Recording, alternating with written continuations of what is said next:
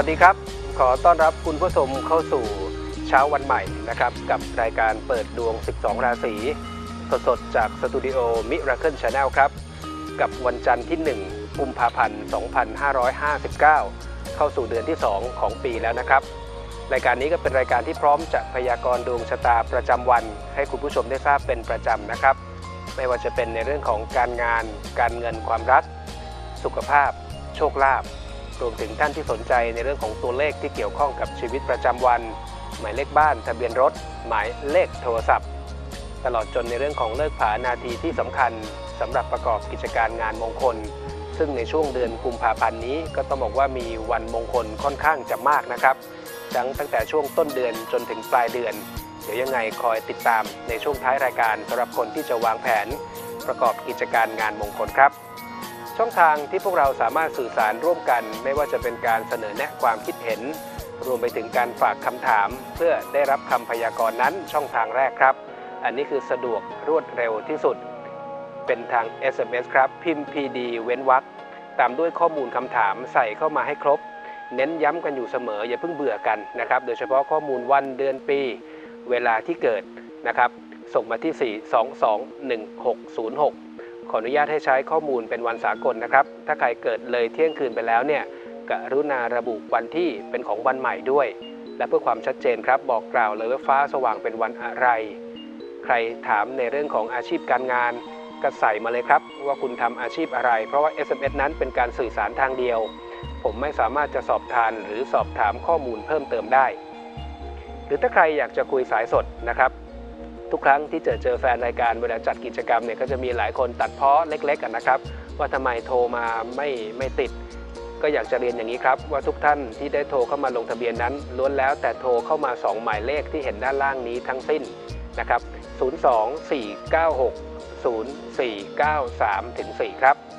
หรือถ้าใครถนัดในเรื่องของโซเชียลก็สามารถเข้าไปได้ที่เว็บไซต์ของทางสถานี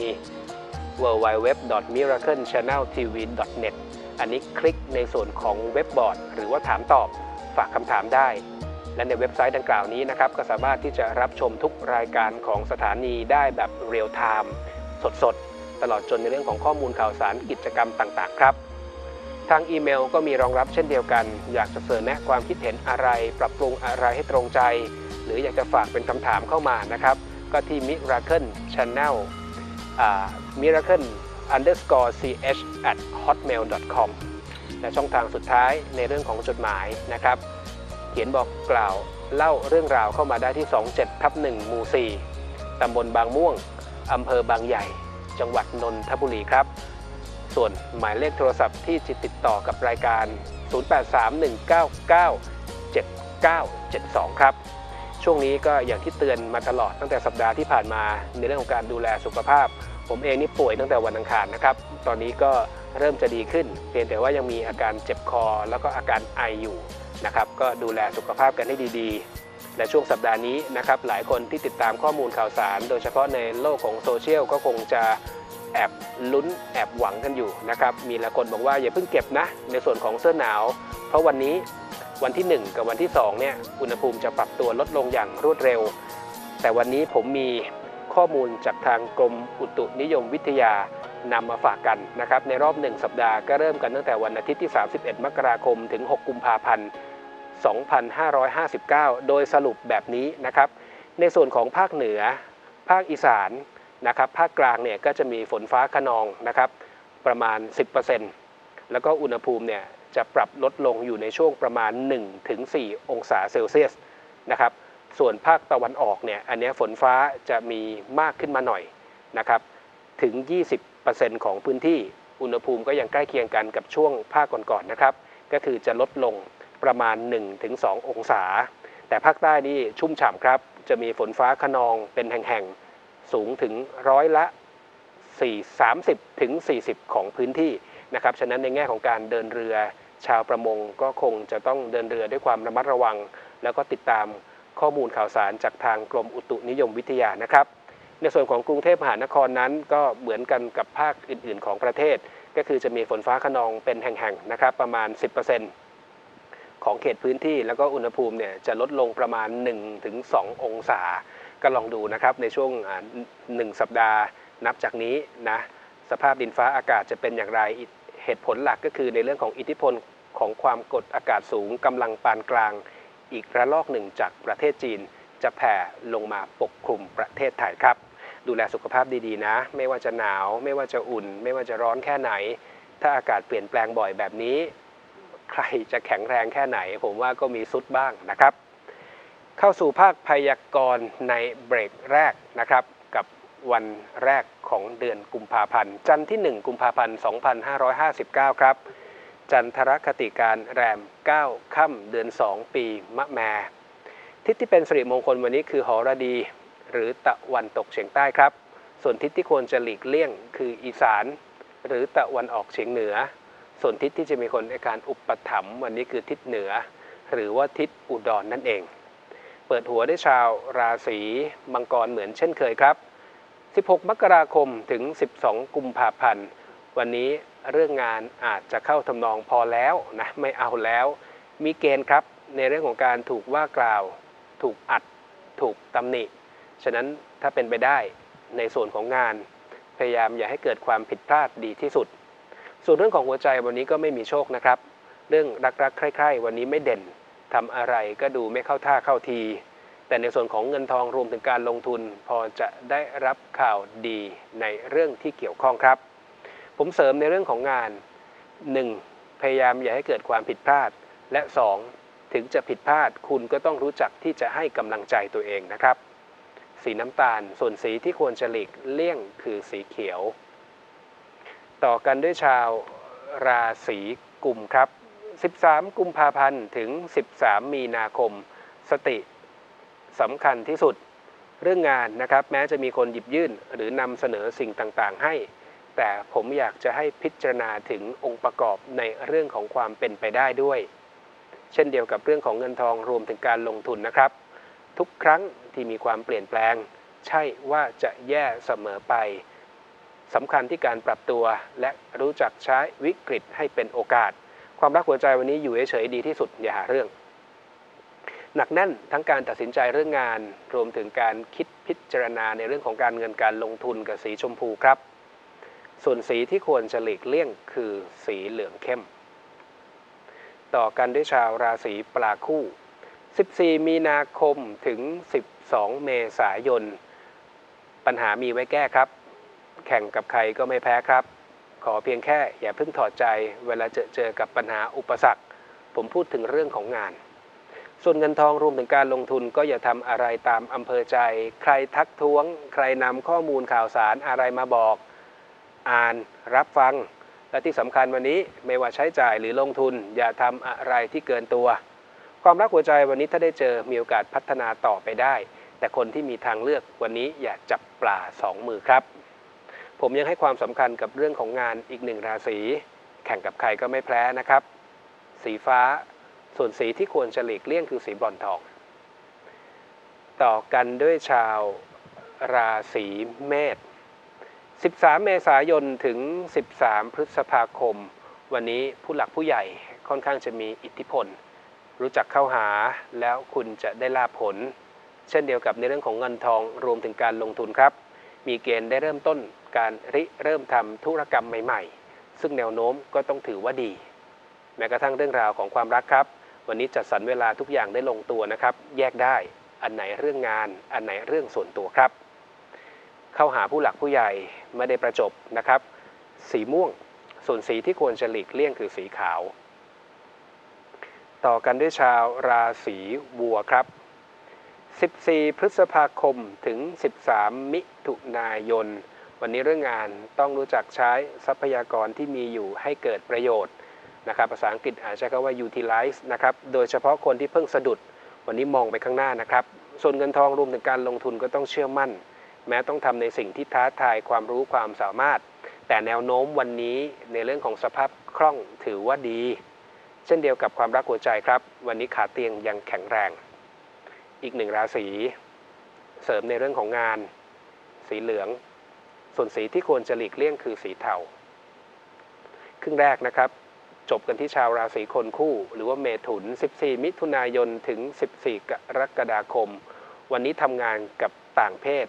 จะลงตัว จะได้รับการสนับสนุนช่วยเหลือ ไม่ทางตรงก็ทางอ้อม แต่ฝากไว้พิจารณานิดนึงนะครับ ว่าคนที่เขาช่วยเหลือเรานั้นเนี่ยนอกจากหวังประโยชน์ในเรื่องงาน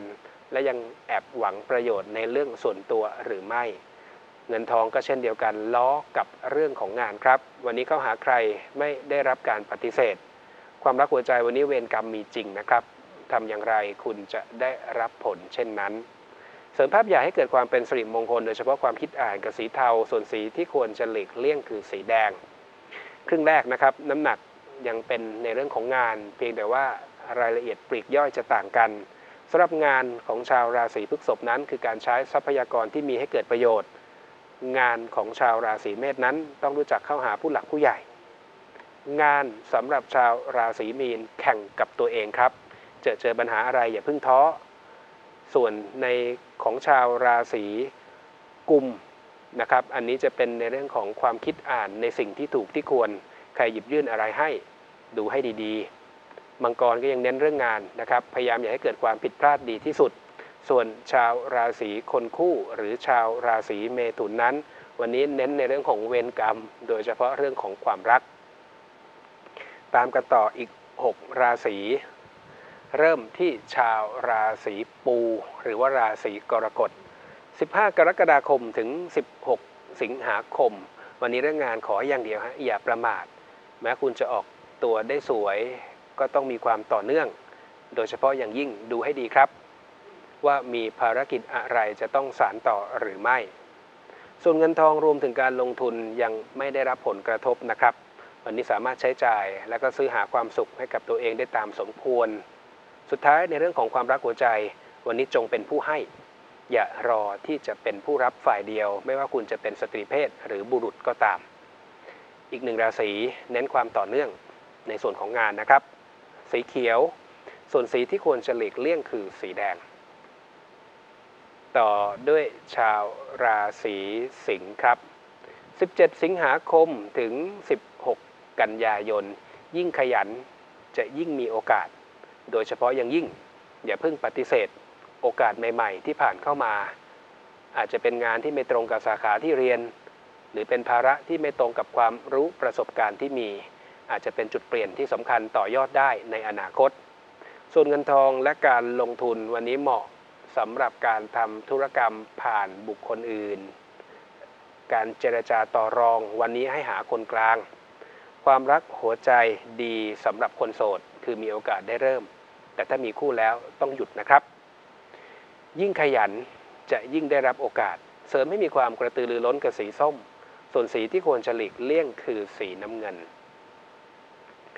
ต่อกันด้วยชาวราศีกันนะครับ 17 กันยายนถึง 16 ตุลาคม วันนี้เรื่องงานถ้าไม่ได้มีเหตุพลิกผัน หรือว่าทำอะไรที่เกินตัวจริง ๆ ทุกอย่างยังเดินไปตามแผนนะครับสำเร็จสมปรารถนา เช่นเดียวกับเรื่องของเงินทองรวมถึงการลงทุน วันนี้มีหุ้นหรือมีคู่ครองคนรักได้เปรียบ แบ่งปันปรึกษาหารือช่วยเหลือกันได้ แม้กระทั่งคนที่เคยเป็นเพื่อน ก็มีโอกาสจะปรับเปลี่ยนสถานะ เสริมเสน่ห์หน่อยดีกว่าครับ สีควันบุหรี่ ส่วนสีที่ควรจะหลีกเลี่ยงคือสีชมพู ต่อกันด้วยชาวราศีตุลนนะครับ 17 ตุลาคมถึง 15 พฤศจิกายนครับ วันนี้เรื่องงานอาจจะต้องเผื่อเหลือเผื่อขาดในเรื่องของเวลาไว้บ้างนะครับ งานล้นมือก็ได้ ได้รับมอบหมายให้รับผิดชอบงานเพิ่มมากกว่าปกติก็ได้ ส่วนเงินทองในเรื่องรวมถึงการลงทุนไม่มีปัญหานะครับ วันนี้บอกว่าอยากได้อะไรได้ แม้จะเป็นทรัพย์สินที่มีราคาก็ไม่ติด แต่หัวใจไม่เด่นเลยนะครับ วันนี้ต้องบอกว่าคนมีคู่เนี่ยจะมีหลายเรื่องราวที่ทำให้วิตกกังวลนะครับ งานล้นมือ เสริมเรื่องงานกับสีบรอนเงิน ส่วนสีที่ควรจะหลีกเลี่ยงคือสีบรอนทองครับ ต่อกันด้วยชาวราศีแมงป่อง 16 พฤศจิกายนถึง 15 ธันวาคม วันนี้เรื่องงานเนี่ยพูดอยู่เสมอ คนเราควรจะมีจริยธรรม ถึงจะไม่ได้ทำในสิ่งที่ผิด วันนี้เน้นในเรื่องของวิธีการต่อสู้การแข่งขันนะอย่าไล่ใครจนหมดหนทางสู้ เพราะในอนาคตไม่แน่นะครับ คุณเองก็อาจจะต้องการโอกาสหรือความช่วยเหลือจากบุคคลเหล่านั้น เช่นเดียวกับเรื่องของเงินทองและการลงทุน ฝากระวังในเรื่องของพวกคดีความโนติสโดยเฉพาะคนที่มีภาระหนี้สินคงค้าง ความรักหัวใจวันนี้อยากจะใช้คำว่าใครดีใครได้ ถ้าเจอเจอคนที่ถูกใจให้รีบแสดงตัวครับ อีกหนึ่งราศีที่เสริมในเรื่องของงานสีม่วง ส่วนสีที่ควรจะหลีกเลี่ยงคือสีครีม ปิดท้ายที่ชาวราศีธนูนะครับ 16 ธันวาคมถึง 15 มกราคม วันนี้เรื่องงานต้องมีความเด็ดขาด ต้องรู้จักใช้อำนาจที่มีให้เกิดประโยชน์นะครับ ส่วนเงินทองรวมถึงการลงทุนยังมีศักยภาพในการหารายได้ แม้มีเกณฑ์ต้องใช้จ่ายในเรื่องของยวดยานพาหนะ ความรักหัวใจแนวโน้มก็ดี แม้จะหมายปองคนที่ดูสูงส่งกว่า ก็พอจะได้ลุ้นเล็ก เสริมไม่มีความมั่นคงเป็นหลักเป็นฐานเน้นเรื่องของชีวิตกับสีเหลือง ส่วนสีที่ควรจะหลีกเลี่ยงคือสีเลือดหมู 6 ราศีหลังน้ำหนักยังเอ็นไปที่เรื่องงาน ซึ่งมันแปลกนะครับ ว่าส่วนใหญ่เนี่ยปัญหาเรื่องงานจะมีมากในช่วงเปิดหัวสัปดาห์จันทร์อังคาร มันเป็นภาวะปกติในทางโลกจริง ๆ พิจิกวันนี้เตือนไม่ห่วงว่าคุณจะทำงานไม่ได้ แต่ห่วงในเรื่องของจรรยาบรรณในเรื่องของจริยธรรม อย่าไล่ใครจนหมดหนทางสู้ ส่วนชาวราศีตุลวันนี้เน้นในเรื่องของการบริหารเวลา มีเกณฑ์ได้รับมอบหมายภาระในส่วนของงานเพิ่ม สิงห์ขวนขวาย วิ่งเต้น ยิ่งขยันจะยิ่งได้รับโอกาส ส่วนชาวราศีกรกฎนั้น วันนี้เน้นอย่าชะล่าใจอย่าประมาทแม้คุณจะเริ่มต้นออกตัวได้สวยก็ตาม แต่ราศีกันวันนี้นะเสริมเสน่ห์หน่อยดีกว่าครับ โดยเฉพาะคนที่เป็นเพื่อนสนิทและคิดไม่ซื่อ ส่วนชาวราศีธนูนั้น วันนี้ก็เช่นเดียวกัน เสริมให้มีความมั่นคงเป็นหลักเป็นฐาน โดยเฉพาะในเรื่องของความรักหัวใจครับ ครบถ้วนกระบวนความสำหรับคำพยากรณ์ดวงรายวันของทั้ง 12 ราศีแต่อย่างที่เรียนอยู่เสมอครับ เกณฑ์ชะตากับการกระทำนั้นมีผลไม่ต่างกัน ฉะนั้น ทายดีอย่าชะล่าใจนะครับ และอย่าตกใจถ้าถ่ายไม่ดี ใครอยากจะไปอ่านคำพยากรณ์หรือเปิดเครื่องรับโทรทัศน์ไม่ทันในช่วงแรก เข้าไปคลิกไลค์ได้นะครับที่ Facebook Fanpage Miracle Channel TV หลังจบรายการสดทางน้องทีมงานจะนำข้อมูลดังกล่าวนี้ ไปลงไว้ใน Facebook ที่เรียนให้เห็นด้านล่างนี้ครับ เดี๋ยวช่วงหน้าเรากลับมาพูดคุยสายสดรวมถึงตอบคำถามทาง SMS พักกันสักครู่ครับ